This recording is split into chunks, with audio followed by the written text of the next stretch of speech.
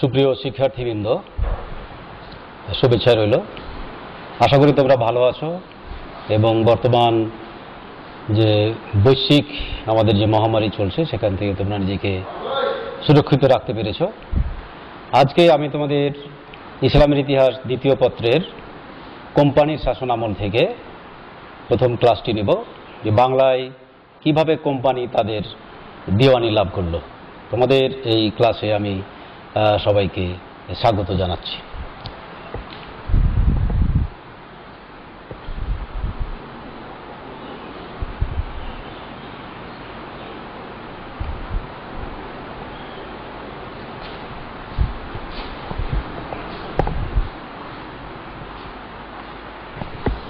আজকের ক্লাসে তোমাদের সবাইকে স্বাগতম। আমার পরিচয় যদিও তোমাদের জানা আছে, তারপরেও বলার জন্য। মোহাম্মদ মোশারফ হোসেন, সহকারী অধ্যাপক ইসলামের ইতিহাস ও সংস্কৃতি, ঘাটাইল ক্যান্টনমেন্ট পাবলিক স্কুল ও কলেজ। এবং আজকের যে পাঠটি, সেটি চতুর্থ অধ্যায়ের দ্বিতীয় পত্র থেকে বাংলায় ঔপনিবেশিক শাসন।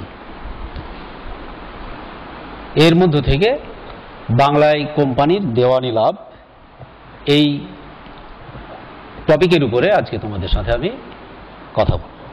আশা করি তোমরা এই ক্লাসটি মনোযোগ সহকারে দেখবে এবং উপলব্ধি করবে এবং এটি তোমরা মনোযোগ সহকারে দেখলে এখান থেকে তোমরা যা শিখবে সেটা হলো যে বাংলায় তথা ভারতবর্ষে কোম্পানির আগমনের প্রেক্ষাপট বর্ণনা করতে পারবে। বাংলার তৎকালীন রাজনৈতিক অবস্থা বলতে পারবে এবং কোম্পানির দেওয়ানি লাভ সম্পর্কে ধারণা দিতে পারবে। বাংলার সাথে ইউরোপের সম্পর্ক। ভারতবর্ষের ধন সম্পদে প্রলুব্ধ হয়ে যুগে যুগে অনেক বিদেশি এদেশ আক্রমণ করেছে। একই উদ্দেশ্যে এদেশে এসেছে বিভিন্ন ইউরোপীয় বাণিজ্যিক গোষ্ঠী। পর্তুগিজ নাবিক ভাস্কো দা গামা যে ভাস্কো দা গামার জলপথ আবিষ্কার, যেটি চোদ্দোশো আটানব্বই খ্রিস্টাব্দে হয়েছিল, এই জলপথ আবিষ্কারের পর প্রথমেই যে ইউরোপীয় বণিকরা এদেশে এসেছিল। তারা হচ্ছে সেই পর্তুগিজ নাবিক ভাস্কো দা গামার নেতৃত্বে পর্তুগিজরা। এরপর একে একে এদেশে আসে ওলন্দাজ দিনেমার ইংরেজ এবং ফরাসি বণিকরা। ভারতবর্ষে আসা এইসব বাণিজ্যিক গোষ্ঠীর মধ্যে ব্রিটিশ ইস্ট ইন্ডিয়া কোম্পানি শেষ পর্যন্ত ভারত উপমহাদেশে দুশো বছর শাসন করে। বাংলার শাসনতান্ত্রিক প্রেক্ষাপট যদি আমরা একটু লক্ষ্য করি, তাহলে দেখতে পাবো যে মধ্যযুগে তুর্কি সেনাপতি ইখতিয়ার উদ্দিন মোহাম্মদ বিন বখতিয়ার খলজি বারোশো চার খ্রিস্টাব্দে বাংলায় মুসলিম শাসন প্রতিষ্ঠা করেছিলেন।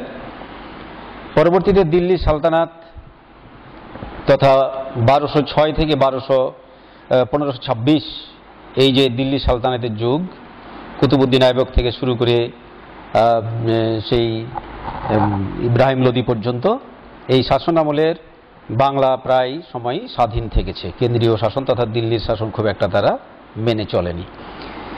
মোগল আমল পনেরোশো ছাব্বিশ থেকে শুরু হওয়ার পর সম্রাট আকবরের শাসন আমলে পনেরোশো ছিয়াত্তর খ্রিস্টাব্দে আমরা দেখতে পাই যে পশ্চিমবঙ্গ মুঘলরা জয় করেছে এবং ষোলোশো দশ খ্রিস্টাব্দে মোগল সম্রাট জাহাঙ্গীরের শাসন আমলে পূর্ব বাংলার বারো ভূঁইয়াদের পতনের মধ্য দিয়ে বাংলায় মোগল আধিপত্য কায়েম করেছিলেন। তৎকালীন বাংলার সুবাদার ইসলাম খান। এই মোগল শাসনামলেই ইউরোপীয় বিভিন্ন বাণিজ্যিক গোষ্ঠী ব্যবসার উদ্দেশ্যে বাংলায় আগমন করে। শিক্ষার্থীবৃন্দ, আমরা একটি ছবি লক্ষ্য করছি। মুর্শিদ কুলি খান, দিল্লির সম্রাট আরঙ্গজেব শক্তিশালী শাসক ছিলেন। তার পর থেকেই আমরা দেখি যে মোগল সম্রাটদের একটু করে দুর্বলতা এবং এই মুর্শিদ কুলি খান বাংলায় যখন সুবাদার হিসাবে নিয়োগ পেলেন, তোমাদের জেনে রাখা দরকার এবং মোগল আমলে পড়াতে গিয়ে তোমাদের বলেছিও আমি, হয়তোবা মনে আছে, যে মগ- মোগলদের শাসনামল কিন্তু বাংলায় দুটি পর্বে বিভক্ত। একটি হলো সুবাদারি আমল, আর একটা নবাবী আমল। তো সুবাদারি আমলে বাংলা একটি সুবাহ হিসেবে মোগল সম্রাট তাদের নিয়োগ দিতেন, বদলি করতেন, বরখাস্ত করতেন, কিন্তু নবাবী আমলটা একটু ভিন্ন। ষোলোশো, সতেরোশো ষোলো খ্রিস্টাব্দে মুর্শিদ কুলি খান বাংলায় সুবাদার নিযুক্ত হয়ে এসেছিলেন। তবে মোগল সম্রাটের অনুমতিক্রমে শেষ পর্যন্ত তিনি বংশানুক্রমিক শাসনের সূত্রপাত ঘটান এবং এই বংশানুক্রমিক শাসনের মধ্য দিয়েই শুরু হয় বাংলায় নবাবী শাসনামল। এই নবাবী যুগে বাংলার সম্পদের প্রতি লোভাতুর দৃষ্টি পড়ে ইউরোপীয় বণিকদের।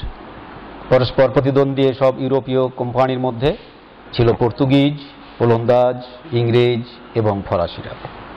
এর মধ্যে ইংরেজ ইস্ট ইন্ডিয়া কোম্পানি শুধু বাংলার অর্থনৈতিক ক্ষেত্রেই প্রভাব বিস্তার করেনি। শাসকদের অন্তর্দ্বন্দ্ব ও প্রাসাদ ষড়যন্ত্রের সুযোগে রাজনৈতিক ক্ষেত্রেও নিজেদের ভাগ্য নিয়ন্ত্রণকারী শক্তি হিসেবে প্রতিষ্ঠিত করতে সক্ষম হয়। ব্রিটিশ ইস্ট ইন্ডিয়া কোম্পানির আধিপত্য বিস্তার। আমরা একটু লক্ষ্য করব যে কীভাবে আস্তে আস্তে তারা এই বাংলায় তাদের আধিপত্য বিস্তার করছে। প্রথমে আমরা বলতে পারি যে ষোলোশো খ্রিস্টাব্দে ইংল্যান্ডের রানীর অনুমতিপত্র নিয়ে পনেরো বছরের শাসন করার জন্য ইংরেজরা ভারতে প্রথম এসেছিল। এই ব্যবসার উদ্দেশ্যে। এবং তারা ষোলোশো বারো খ্রিস্টাব্দে প্রথম গুজরাটের সুরাটে এবং ষোলোশো একান্ন খ্রিস্টাব্দে হুগলিতে বাণিজ্য কুঠি স্থাপন করে। সুবাদার শাহ সুজার সময় ইংরেজরা মাত্র তিন হাজার টাকার বিনিময়ে বিনা শুল্কে বাংলায় বাণিজ্যের সুযোগ লাভ করে। ষোলোশো ষাট খ্রিস্টাব্দে সুবাদার শায়েস্তা খানের সাথে এই বাণিজ্যিক গোষ্ঠীর মতনাক্য ঘটে এবং তাদের সাথে সংঘর্ষ হয়। তখন তারা খুব একটা সুবিধা করতে না পারলেও পুনরায় তারা বিভিন্নভাবে উপঢৌকনের মাধ্যমে মোগল সম্রাটদের খুশি করে আবার বাণিজ্য সুবিধা লাভ করে এবং ভাগীরথী নদীর তীরে কলকাতা, সুতানটি এবং গোবিন্দপুর নামে তিনটি গ্রাম কিনে বাণিজ্যের সম্প্রসারণ ঘটায়। আমরা দেখতে পাই যে এই যে তিনটি এলাকা তারা ক্রয় করেছিল, তার সুতানুটিতেই কোম্পানি নিরাপত্তার অজুহাতে তারা ফোর্ট উইলিয়াম নামে একটি সুরক্ষিত দুর্গ নির্মাণ করেছিল। সতেরোশো সতেরো খ্রিস্টাব্দে মোগল সম্রাট ফরুকশিয়ার ফরমান, ফরুকশিয়ারের ফরমান লাভ করার পর হতে কোম্পানির বাণিজ্যিক সুবিধার পাশাপাশি রাজনৈতিক কর্তৃত্ব বিস্তারেরও সুযোগ পায়। কারণ আমরা জানি যে ফরুকশিয়ার এত বেশি সুযোগ দিয়েছিলেন কোম্পানিকে যে তারা তাদের আধিপত্য বিস্তারের দ্বিতীয় সিঁড়ি অতিক্রম করল। এই নবাবী আমলের আমরা দেখি যে আলিবর্দী খান, এই নবাব আলিবর্দী খান, তিনি ইস্ট ইন্ডিয়া কোম্পানির এই যে মনোভাব, তাদের স্বপ্ন, যেটাকে আমরা দুঃস্বপ্ন এই মুহূর্তে বলছি, পরবর্তীতে যাই হোক, তো সেই তাদের দুঃস্বপ্নকে, কোম্পানির দুঃস্বপ্নকে তিনি কৌশলে নিয়ন্ত্রণ করতে সক্ষম হয়েছিলেন। কিন্তু সেই উচ্চাভিলাষী দুঃস্বপ্ন তাদের বাস্তবে রূপ পেয়েছিল। তারই পরবর্তী নবাব তার নাতি, নবাব সিরাজউদ্দৌলার শাসনামলে। কারণ তিনি অল্প বয়স্ক হওয়ার কারণে হয়তোবা শেষ পর্যন্ত দেখা গেছে যে এই সুচতুর কোম্পানির সাথে পেরে ওঠেননি। তো এই পলাশির যুদ্ধ এবং বঙ্গভারতে কোম্পানি শাসনের ভিত তৈরি। আমরা দেখতে পাই নবাব সিরাজউদ্দৌলার শাসন আমলে পলাশির যুদ্ধ। বাংলা তথা ভারতবর্ষের ইতিহাসে একটি বিশেষ তাৎপর্যপূর্ণ ঘটনা। নবাব সিরাজউদ্দৌলার সাথে উস্কানিমূলক আচরণের মাধ্যমে, অর্থাৎ তারা তাদের বিভিন্ন অজুহাতের দুর্গগুলোকে সুরক্ষিত করতে থাকে, তারা তাদের খিলাতের অর্থাৎ সনদের অপব্যবহার করতে থাকে।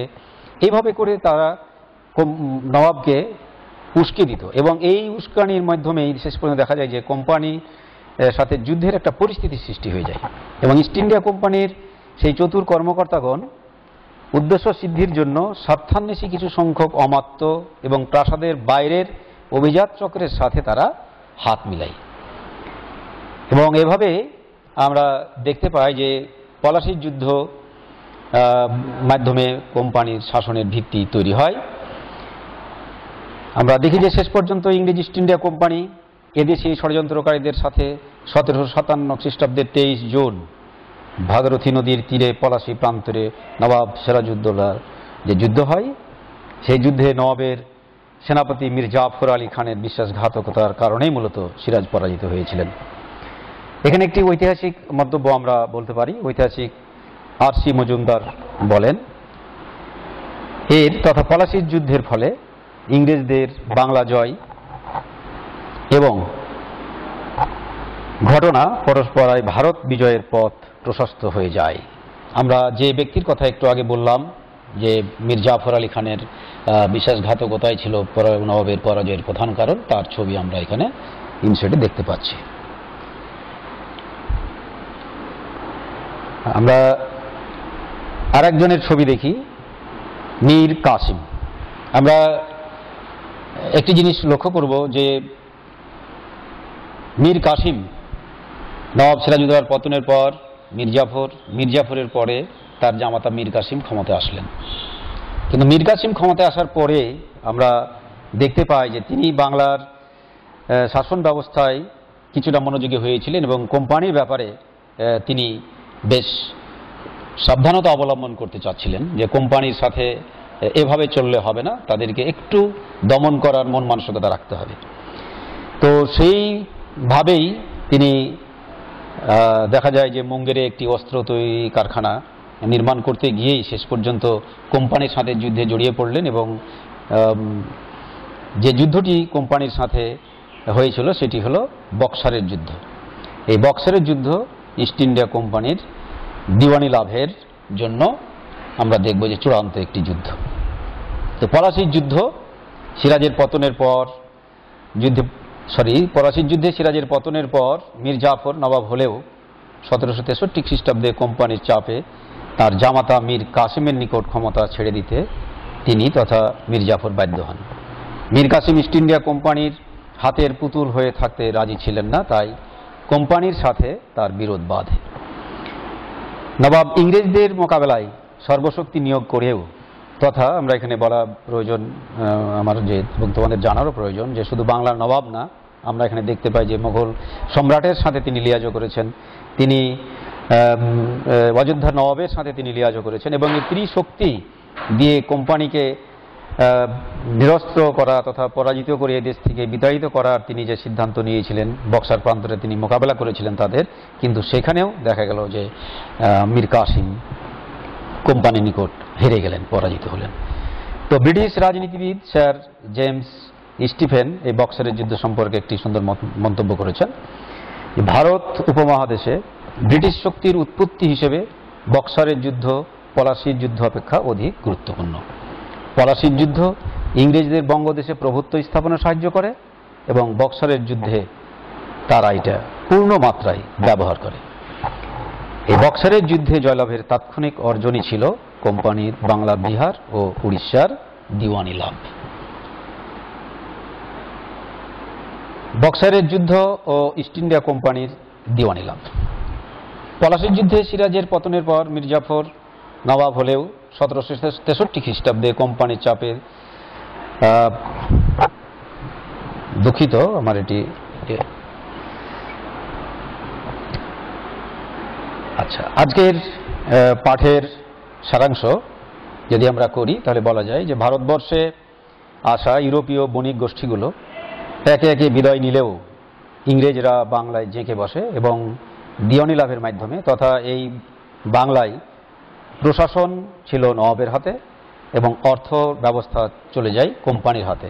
এবং এই দিওয়ানির ব্যাপারে একটি কথা বলা প্রয়োজন, যে এখানে দেখা যায় যে এই দিওয়ানি লাভের মধ্যে যেটি হয়েছিল, সেটি হলো যে নবাবের হাতে থাকল দায়িত্বহীন ক্ষমতাহীন দায়িত্ব এবং কোম্পানির হাতে চলে গেল দায়িত্বহীন ক্ষমতা। অর্থাৎ এই দিওয়ানি লাভের মাধ্যমে ভিত্তি, যে ভিত্তি স্থাপন করেছিল ইংরেজ ইস্ট ইন্ডিয়া কোম্পানি, তাই দীর্ঘ দুশো বছরের শাসনে বেঁধে ফেলেছিল ভারতবর্ষের অর্থনীতি এবং রাজনীতিকে। শিক্ষার্থীবৃন্দ, আজকের এই পাঠ থেকে তোমরা যে জিনিসগুলো বাড়ির কাজ হিসাবে শিখবে এবং খাতায় লিখবে, সেটি হলো পলাশির যুদ্ধ সম্পর্কে ধারণা সতেরো সাতান্ন খ্রিস্টাব্দে। দ্বিতীয় বক্সারের যুদ্ধ, সতেরোশো চৌষট্টি খ্রিস্টাব্দে। এই বক্সার যুদ্ধ সম্পর্কে কি জানো এটি? এবং আমাদের বড় প্রশ্ন হিসেবে যেটি উদ্দীপকের, উদ্দীপক আশ্রিত প্রশ্নের জবাব হিসাবে আসবে, বাংলায় ব্রিটিশ ইস্ট ইন্ডিয়া কোম্পানির দিওয়ানি লাভের প্রেক্ষাপট আলোচনা করো। এই প্রশ্নগুলো তোমরা শিখবে এবং খাতায় লিখবে আজকে এ পর্যন্তই। তোমরা সুস্থ থাকো ভালো থাকো এবং আমাদের সাথে থাকো। সবাইকে ধন্যবাদ।